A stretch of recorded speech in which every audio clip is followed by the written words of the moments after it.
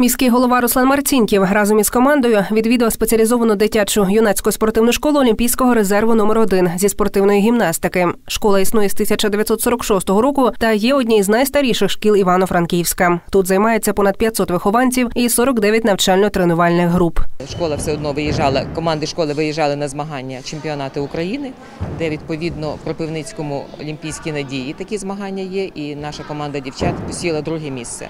А чемпіонат України серед Ездюшор це школи спеціалізовані, які є в Україні. Наша команда дівчат посіла перше місце. Івано-Франківську є дійсно е, дуже потужна, гарна спортивна школа. І перше завдання перед міською владою це, звісно, її наповнення, оснащення. І якщо правильно е, підійти до проекту бюджету участь, у них є всі шанси виграти цього року. Також інспекція відвідала ліцей номер 11 Івано-Франківської міської ради. Всі уроки проводяться дистанційно, абсолютно без, без різниці.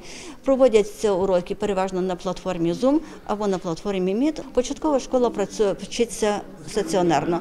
Відвідування, я вважаю, що в початковій школі на вчора, сьогодні і позавчора було ну, нормально. Для нас, для 16-17% для школи, це в лютому місяці нормальний такий відсоток. Через підвищення захворюваності на COVID-19 в області заклади освіти перейшли на дистанційне навчання. Зараз одним з пріоритетів ще інтерактивні дошки докупити, але саме основне, щоб діти могли навчатися повноцінно. Батьки школярів подають багато проєктів на бюджет участі та інші програми місцевого самоврядування, і це робить їх одними із кращих у місті.